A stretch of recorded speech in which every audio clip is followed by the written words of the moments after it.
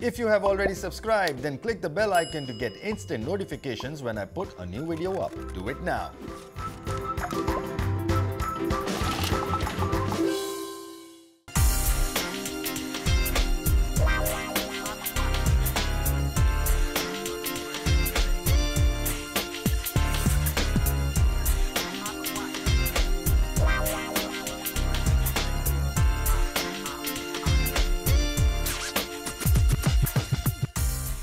What's up guys, welcome to Mad Stuff with Rob. I am Rob and I'm back with another DIY video. Now on my channel, I always try and do a lot of fun and simple DIYs. The idea is to teach you guys new, different, interesting techniques so that you can learn a technique and apply it to make whatever you want. Now a lot of you suggested I do something with paper in fact, many of you send me some really nice and interesting pictures from the net and ask me to teach you guys that technique. It's simple, basic paper art. I tried it out. It looks amazing. So I'm going to teach you guys that technique and I'm very sure this idea can translate into a nice room decor piece which will add some cool, simple, minimalistic touch to your room. So get ready, it's time for some DIY. Why? Because I love it.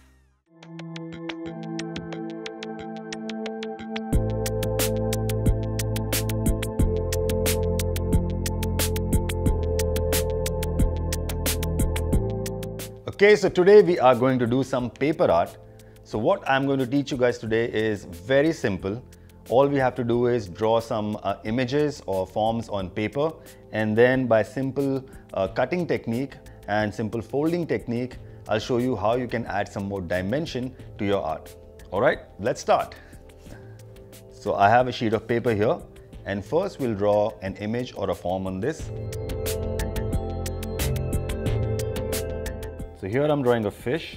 To be precise, I'm drawing koi fish, which are, I think, Japanese fish, which are beautiful. They are mostly big and white and have these orange spots or patches on them.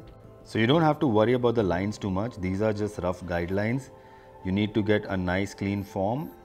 And then we will do some basic cutting on this. And by simple folding technique, we will add a little more dimension to our main form which is this koi fish. Okay, so the drawing is done. Now we will start the cutting process. So for cutting you can use an X-Acto knife. Okay, so let's start with the fins first. Stop when I reach the body. So we don't need to cut it out completely. We need to just cut a portion of it to give this 3D dimension. We'll do the same thing on the other side. There you go. So the fins are done. Let's do that to the smaller fin as well. And we'll also do that to the tail. Now you can see I have a nice cutting board here. So when you're doing any cutting, make sure you place a cardboard, mount board or any surface that you can damage. Don't do it on your expensive table or something. So for the tail, I'm doing the same thing. I am just cutting the tail fin and I'm stopping where it's connected to the body. Okay, now you can see there is another fin right here on the top of the body. Basically, this was a nice break point where we divided the body between the scales and the patches. So this side I have the big spots or patches of koi fish and on the back side of this middle fin we had the smaller scales. So we will do the same thing for this one where it's attached. We will start from there and then just go all around. So again, I'm just following the line just like that. And now you can fold this outwards as well to give it some more dimension. So now main cutouts are done. Now we can add some more detail to it. So for detailing, I am going to just cut some smaller pieces out Alright, similarly we are going to cut all the other spots and then just cut the scales as well. And now you can see the cutting board through it but when my final piece is ready then I'm going to place a colored chart paper or craft paper behind it so that uh, a nicer brighter shade is revealed. You can see I keep turning the sheet around. This way it's easier to cut around the curved edges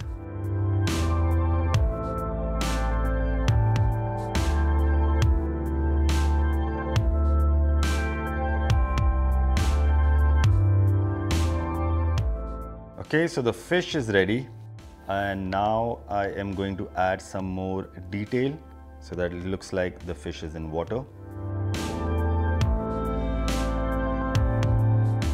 Okay, so the drawing is done. Now let's cut.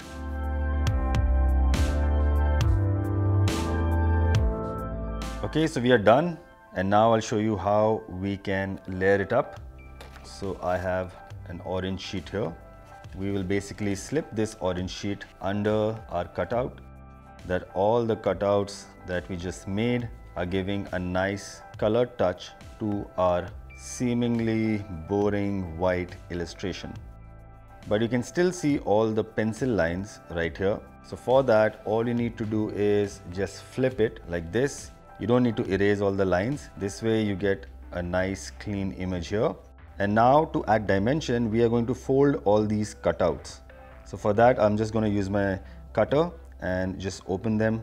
So first we'll remove the sheet and fold all the pieces and then get the sheet back in.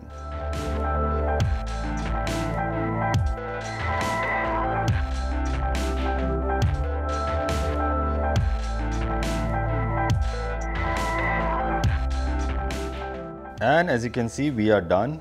By folding these cutouts, we have added some more dimension to this whole form. And now our fish has a more 3D look. Also, the light will play a very important role in this. When you're placing it in a room, make sure there is a nice strong light from one side so that you get nice shadows and highlights. So let's place the orange background and you can see as soon as I add the orange, the fish really pops up, looks great. Now let's try and frame this and see how it looks.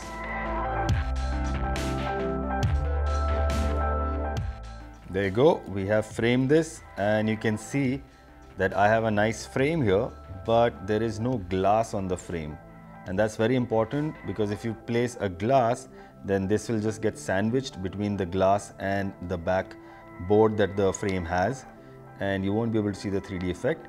So when you're framing it, make sure you remove the glass so that all of your cutouts that are 3D like this stay up and it adds dimension to your minimalistic art piece.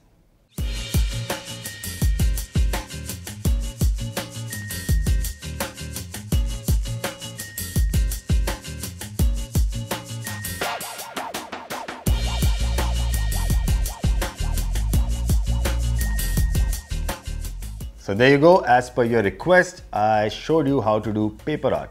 Now, if you have any more such requests, then you can send me your idea or you can send me a picture of what you want and I'll try and see what I can do. I'll crack the technique, make it simple, and then I'll share it with you guys. I hope you guys enjoyed watching this video. If you did, then give it a big thumbs up, like, share, and subscribe to my channel if you haven't already. I keep telling you guys it's free. So do it right now. And I encourage you guys to try this technique. It's really simple.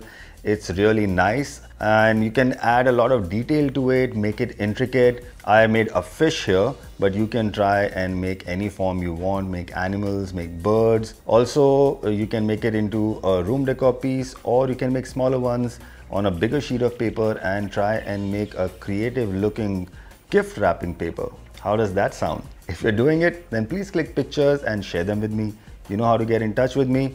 I'm on Facebook, Snapchat, Instagram, and right here making DIY videos just for you guys. I'll see you in my next video. Until then, you do good and be good. Peace.